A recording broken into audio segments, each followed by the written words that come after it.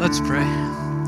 God, we thank you for this morning where we can be here on this Independence Day worshiping you. But Father, as we talk in, over the next few moments, not worshiping um, our country, but worshiping you, God, and your Son is our, our Savior.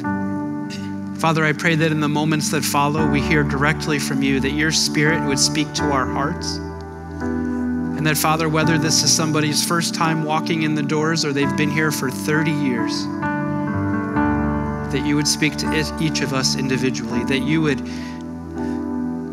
you would show us what you have for us today. So we thank you, and I do thank you for this time. And we pray in Jesus' name. Amen.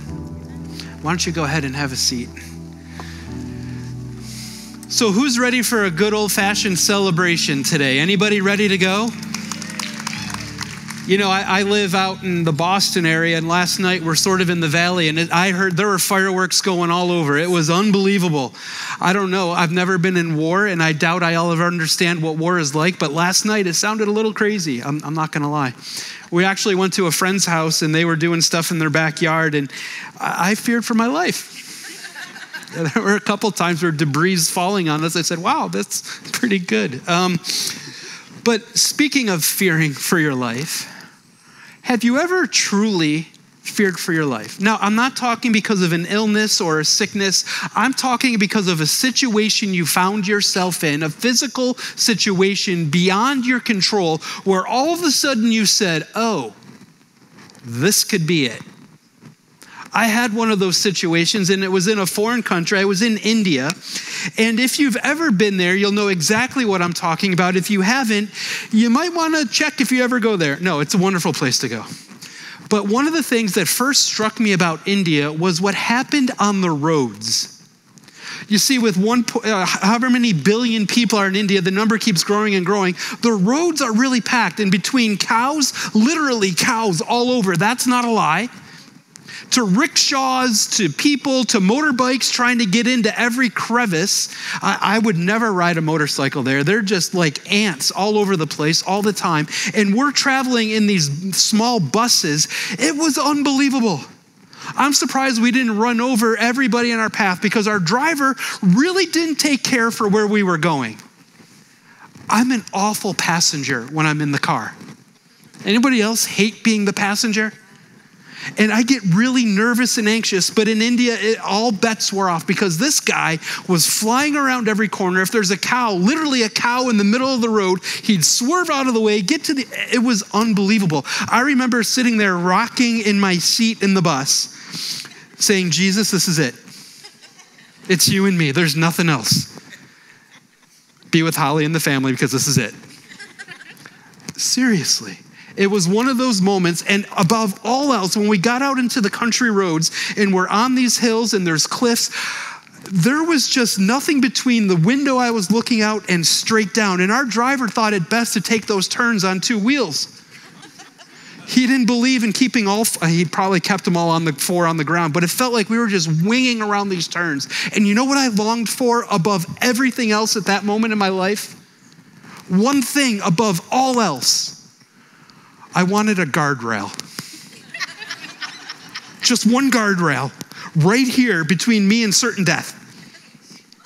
And the guardrail is really an amazing invention that I wish they would know more about in India or other places in the world. It's really this strong piece of metal that protects people from certain doom of going over a cliff. Or if you're in traffic, dividing traffic, they didn't even really have those all these places, and people are just flying by each other buses with literally hundreds of people stacked on them, just going down the road like they had no concern for anything. A guardrail would have made all the difference in the world. A guardrail offers protection from falling off a cliff or from getting caught up in head on traffic. A guardrail, and maybe it's just perceived safety and not real safety, but when you see it there, you say, oh, at least there's something to, to catch me if I go a little bit too far. A guardrail is something that in our lives, not only on the roads, can make a huge impact. You see, as followers of Christ, there are guardrails that our faith offers. There are things that the word tells us about in scriptures and the teachings of Jesus and Paul and throughout the scriptures that if we put these into practice in our lives, they offer guardrails. They keep us from the cliffs that may exist in our lives. Today is the 4th of July. On July 4th of 1776, or 245 years ago today, think about that, 245 years ago today, the Declaration of Independence was signed where the, we declared freedom from Great Britain. The 13 colonies were now free, and the Revolutionary War would follow, and there was bloodshed and all this going on. But at that moment, we thought as a country we were free. Free from the grip of England, free from taxation without representation, free from everything that we thought was hindering us. But you know what? Even after the war ended, we weren't truly free we weren't truly free. And even 245 years later, we're still not free. Why? Because there's a greater evil trying to grab your attention and your heart than even Great Britain. Sin and the bondage of sin is still at work in our world and grabbing a hold of everybody it can and the guilt and shame that go along with sin are crippling people left and right. And I hope, and I'm just going to lay all my cards on the, on the table or on the music stand, if you will, right as we start. I hope that today you begin to understand true freedom. Not freedom because we live in the United States of America, not freedom that becomes from wars or battles fought on, on many different battlefields but freedom that can only be found through Jesus. Freedom for your heart and your soul. Freedom from the grip of sin and the bondage of all that goes on in our world. Freedom from the pull of culture that wants to destroy us. And we're going to start our journey by looking at, at Romans 6. So if you have your Bible or your phone or whatever you do to, to read the scripture, you can do that or it'll be up behind me. So Romans 6, 14 through 16. For sin shall not be your master. Because you are under the law, you are not under the law, but under grace. What then? Shall we sin because we are not under the law, but under grace? By no means. Shall we sin just because we can and there's grace? By no means. Don't you know that when you offer yourselves to someone to obey him as slaves, you are slaves to the, to the one whom you obey? Whether you are slaves to sin, which leads to death, or slaves to obedience, which leads to righteousness. Paul is suggesting here that you and me and everybody, we're all slaves to something. Something has our heart, something has our allegiance, and we focus our attention on that thing, on that person, on that opportunity, whatever it may be. We focus all of ourselves on what that is. And some of those things will lead to, to obedience and some of them will lead to death, but we're all slaves to something. So I ask yourself, ask yourself this question. What are you a slave to in your life? What gets your attention? What do you focus on? Is it things of God or is it things of the world?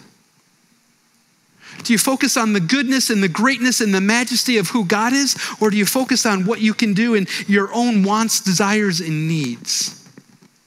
Because as Paul said, it matters what you're obedient to. It matters at the very core of who you are. And if you want to find true freedom, you need to figure out what you're obedient to. You see, there are some here, like I said before, who have been following Jesus their entire lives, but you still may not be free because there's still something that's gripping your heart that, that secret sin that you don't want anybody to know about that really controls your mind and your heart. And when nobody's looking, it's your go to. You're not truly free. Sometimes there's those sticky situations, those sticky sins that grab a hold of us that we don't really experience the new life that Paul was talking about in that verse. Salvation and following Jesus is so much more than getting to heaven someday. It's about how you live your life today and tomorrow and the next day and how you love and care for the world. Not because it's out of duty, but because your heart has been transformed and you live differently in this world. When you're not a slave to sin, all of a sudden you begin to live differently. Listen to verse 16 again. Don't you know that when you offer yourselves to someone to obey him as slaves, you are slaves to the one whom you obey? Whether you are slaves to sin, which leads to death, or obedience, which leads to righteousness. If you're a slave to sin, listen to this, it will lead to death. Or are you a slave to obedience? Do, do, do you follow the ways of the Lord in the scriptures? Do you read the Bible and let it penetrate your heart and sink deep into you, who you are and follow this? Because if you do, you are living within the guardrails of our faith, and guardrails lead to true freedom. Guardrails lead to true freedom. When it says obedience leads to righteousness, righteousness is defined as acting in accord with divine or moral law. Free, listen to this free from guilt and sin.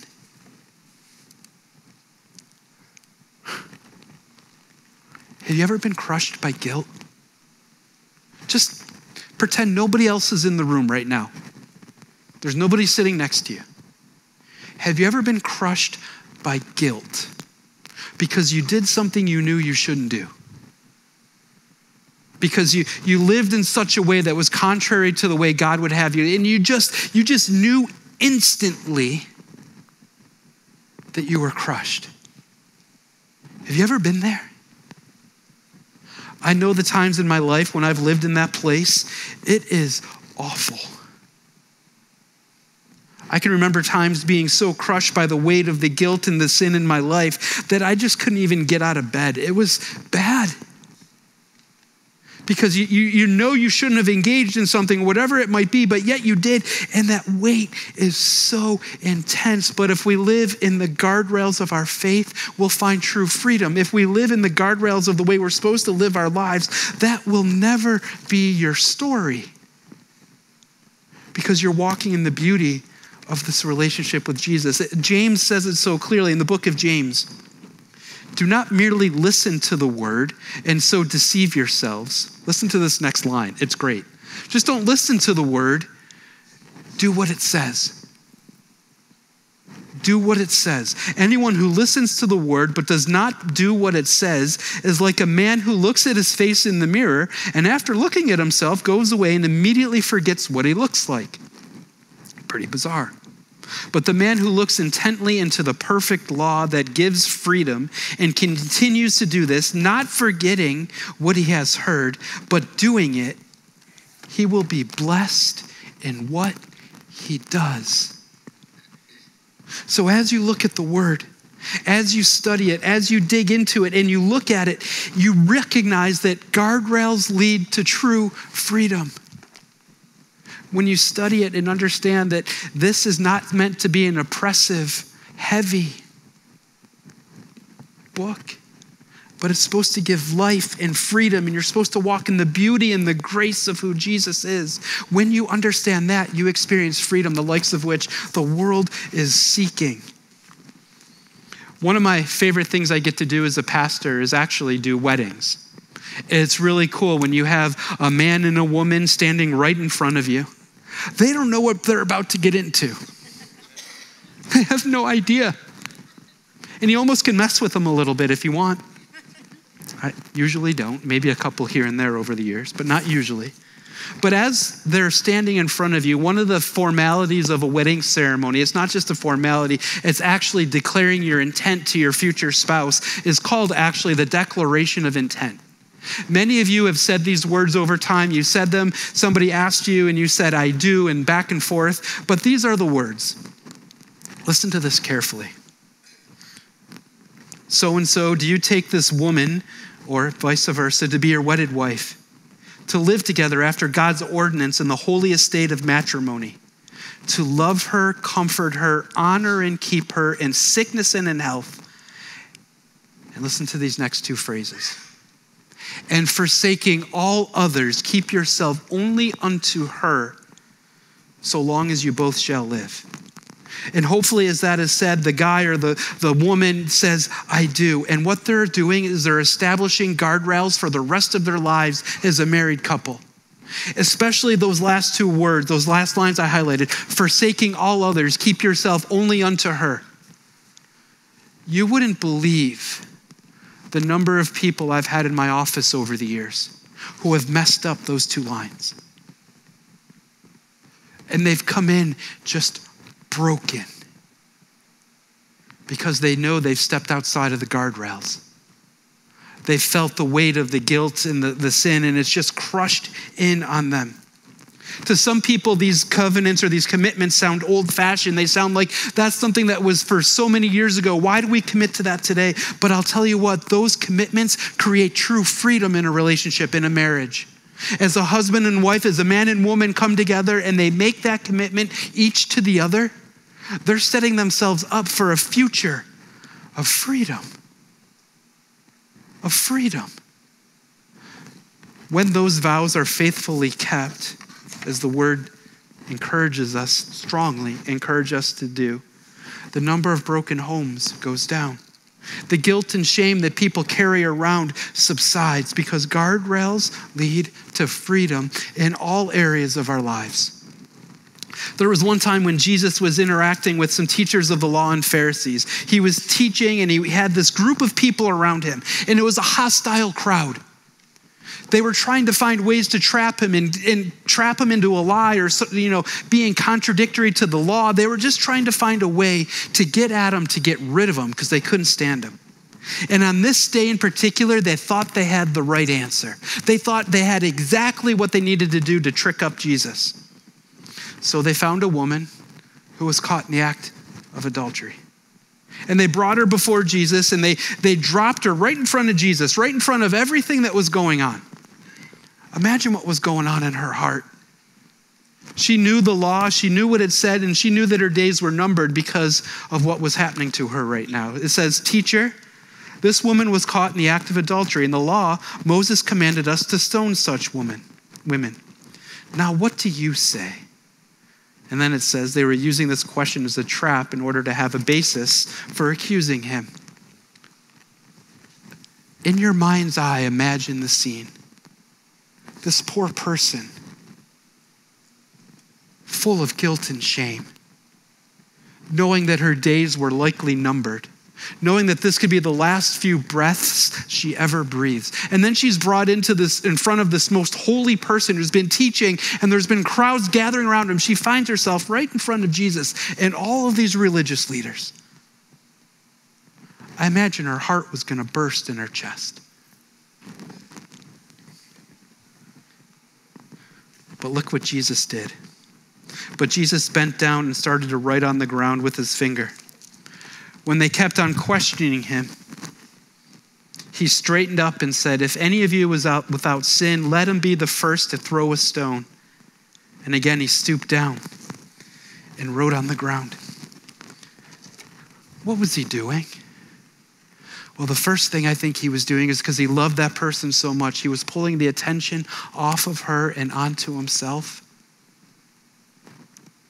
He was pulling it right to himself. And what was he writing in the dirt? Well, it really doesn't say.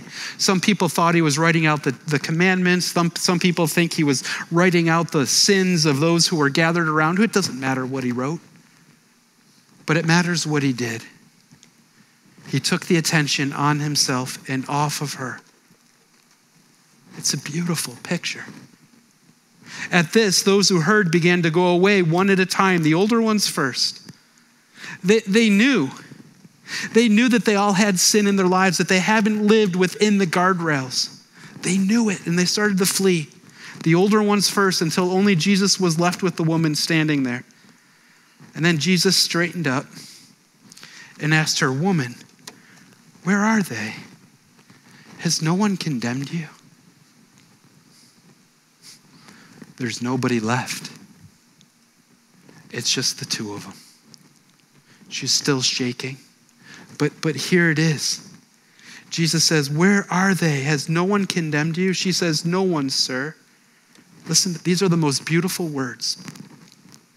Then neither do I condemn you. Now go and leave your life of sin. He's establishing the guardrails for her. He's saying, I, I don't condemn you. I know exactly who you are. I've, I know everything about you. I know, I know, I know, and I love you, and I don't condemn you. There are times in my life when I needed to hear those words because I knew what was in here. And I needed to hear Jesus say, I don't condemn you. I love you. I care for you. But now go and leave your life of sin. Go and live within these guardrails. And as you do, you will find freedom You'll never be in this position again if you do it my way. Romans 6:18 You have been set free from sin and have become slaves to righteousness. That so, sounds so much better than being a slave to sin, is being a slave to righteousness, to doing the right thing, to following the, the law, the divine law, and then not feeling that guilt and shame because you're doing exactly what you should be doing. Guardrails lead to true freedom. On this 4th of July of 2021, maybe today's the day you say, you know what? I need to line up my mind, my heart, my actions, and understand that maybe God knows better than I do. I've tried it my own way, and it hasn't worked, and I, I just feel that shame and that guilt. But maybe today's the day. Romans 6:22, but now that you have been set free from sin and have become slaves of God, the benefit you reap leads to holiness, and the result is eternal life. As you live this way, listen. Your life is different. It's not for someday, someday when, when um, in the future. It's for today. Yes, eternal life, as it says, will come, but right now it will lead to holiness in how you live, how you carry yourself, how you interact with others. And as you live in that way, the benefits are immense. As you commit to Jesus and living that way, the guardrails that are established lead to true freedom all of a sudden you're not trying to do it on your own, trying to make the best of life just because you think you know better. You're truly following the one who created you and listening to his words and following his lead. On this July 4th, on this Independence Day, we are celebrating freedom. We live in a country where we can even worship like this and join like this together on a Sunday or any time through the week. There's many in the world who don't have this. But this does not lead to true freedom. There's only one way. I'll never forget a few years ago, I, I had the privilege of being in the middle of Lebanon, actually on the east coast of Lebanon, close to Syria. And we were in a Syrian refugee camp. And if you want to see the, just people who are broken, whose lives have been destroyed, whose families and friends, many have been killed in front of them. It was this incredible scene. But I'll never forget sitting in this one tent, this makeshift tent on borrowed property with this gentleman who, as he was talking, he was just crying as we were drinking the strongest Turkish coffee I've ever had in my life. He's just sobbing. But do you know why he was sobbing? Not because he lost everything, not because his home was in Syria and he was now in Lebanon living in this awful tent. Do you know why he was sobbing? Because through one of our partner ministries, he found Jesus. He realized that he was now free from the bondage of sin that had so easily and so often entangled and ensnared his life. He was now free to live and think and to actually breathe the weight of his guilt and shame was gone. This guy was actually baptized by our partner ministry and discipled. And I wish I knew his story today to know what he was doing or where he was. But as he accepted Jesus, he was ostracized from his entire family. They wanted nothing to do with him, but he still had tears Because he found true freedom. He found what all of us are ultimately longing for if you haven't found it already. I'll never forget sitting with this guy. Do you ever have those moments in your life that uh, they're just etched in there forever? My goodness, to see somebody who had nothing, literally, barely the clothes on his back, crying tears of joy because he was free. It was a beautiful picture. And that same picture can be yours and mine. That same picture, that same feeling, that same emotion can well up in our hearts as we have the same experience and we understand that guardrails lead to true freedom as you read the scriptures and pour over them and let them sink into your heart and let them inform how you live and think and the things you do in your world, you are actually more free than you could ever imagine. The, the, the rules and what scripture lays out are actually meant to set you free. When my children were young, we had certain rules in our house.